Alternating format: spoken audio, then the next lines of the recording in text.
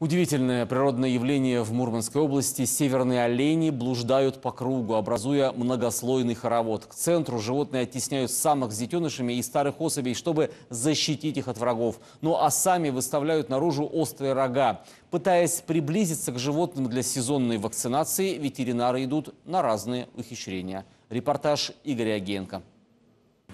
Стадо в 4000 голов, бегущее в тундре, выглядит завораживающе. Эти олени ждут своей очереди на вакцинацию от сибирской язвы. Хоть в Мурманской области этой болезни никогда не было, здесь решили прививать всех копытных, а особенно тех, что на вольном выпасе. В поисках ягеля эти животные преодолевают сотни километров. Медленно, шаг за шагом, приближаемся к северным оленям. Животные это дикие, человека не знают и не знают его запаха, поэтому приходится приманивать комбикормом. Особенно учитывая, что это самочки.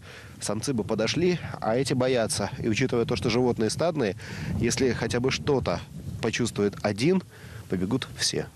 Чтобы животные шли в нужном направлении, один оленевод едет сзади и еще двое по бокам. Но иногда некоторые олени все же умудряются вырваться и повести остальных за собой. По снегу они могут развивать скорость до 90 км в час. Из-за того, что снег в тундре сейчас мокрый и рыхлый, проваливаешься практически по колено, гнать оленей на вакцинацию будут ближе к вечеру, когда нас окрепнет.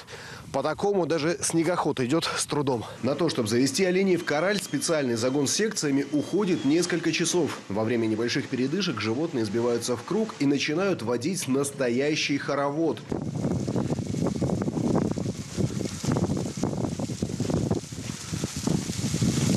Чем причина такого поведения, ученые до конца не могут разобраться. По одной из версий, животные так сплачиваются перед угрозой. Чтобы перегнать стадо на 200-300 километров, оленеводам приходится долго втираться к ним в доверие. Поводить их надо, человек, чтобы привыкли, да, к технике. И все, а потом пойдет.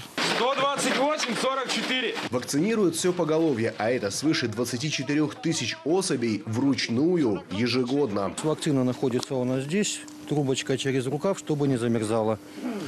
И вводится среднюю треть шеи. Все. Животное провакцинировано. Используется для этого отечественная вакцина, аналогов которой в мире нет. На сегодняшний день привиты уже 15 тысяч оленей. Игорь Агеенко, Антон Климовский и Дмитрий Кваснюк. Вести из Мурманской области.